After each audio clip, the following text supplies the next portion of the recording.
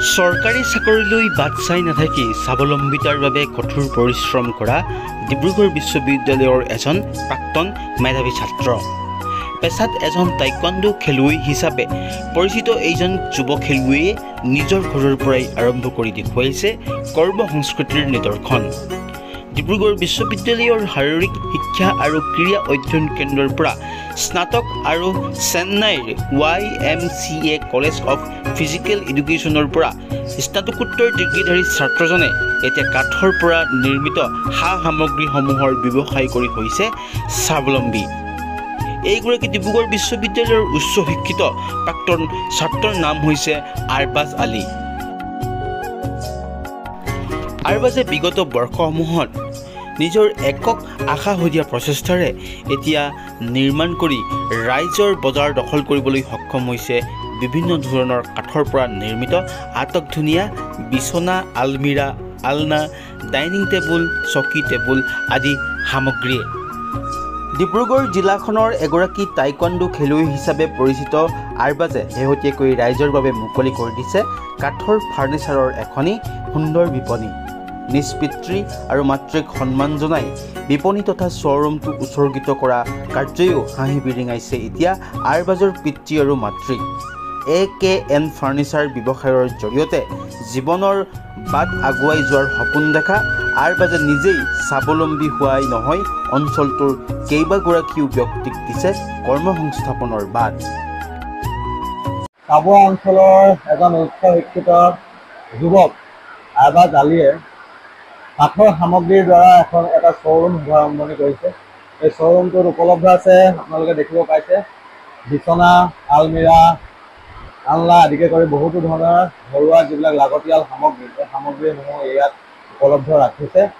আমি চাবুৱা অঞ্চলৰ সম- সমূহ চাবুৱাবাসী ৰাইজক এই শ্ব'ৰুমটোলৈ আহি ঘৰুৱা যিবিলাক সামগ্ৰী ব্যৱহৃত সামগ্ৰী আহি ইয়াত ক্ৰয় কৰি তেখেতসকলৰ সুবিধাজনক সামগ্ৰীসমূহ উপলব্ধ পাব।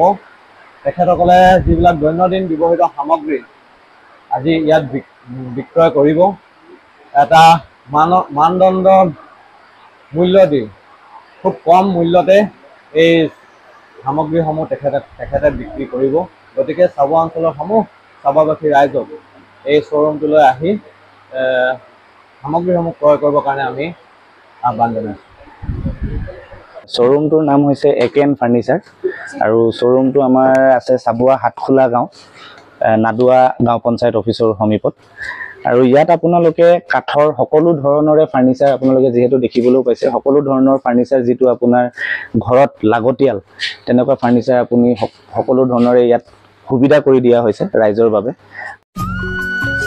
নিয়মিত অধ্যয়ন দৈনিক ক্ৰিয়াৰ অনুশীলনৰ মাজতো সময় উলিয়াই ব্যৱসায়ৰ জৰিয়তে স্বাৱলম্বীৰ দিশে অগ্ৰসৰ হোৱা আৰবাজৰ দ্বাৰা নিৰ্মিত কাঠৰ সা সামগ্ৰীসমূহ তিনিচুকীয়া চাবুৱা লাহোৱাল ডিব্ৰুগড় আদি ঠাইত বিক্ৰীৰ বাবে যায়। আনহাতে আৰবাজ আলী এজন প্ৰচুৰ প্ৰতিভাসম্পন্ন টাইকোৱাণ্ডো খেলুৱৈ। আৰবাজে ইতিমধ্যে ৰাজ্যিক ৰাষ্ট্ৰীয় পৰ্যায়ৰ প্ৰতিযোগিতাসমূহত অংশ লৈও সফলতা লাভ কৰিছে। ব্যৱসায়ৰ জৰিয়তে কৰ্ম সংস্কৃতিৰ নিদৰ্শন দাঙি ধৰা উচ্চ শিক্ষিত ৰাষ্ট্ৰীয় পৰ্যায়ৰ খেলুৱৈ আৰবাজ আলীৰ দৰে যুৱকক চৰকাৰেও উৎসাহ সহযোগিতা কৰাৰ প্ৰয়োজনীয়তা আছে।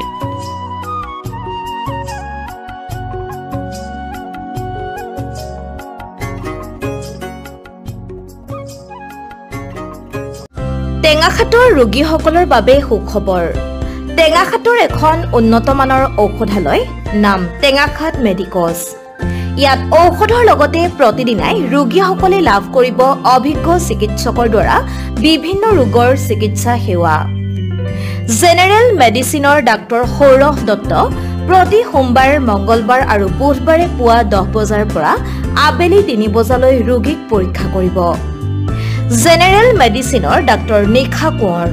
বৃহস্পতিবাৰ আৰু শুকুৰবাৰে পুৱা দহ বজাৰ পৰা চাৰি বজালৈ ৰোগীক পৰীক্ষা কৰিব।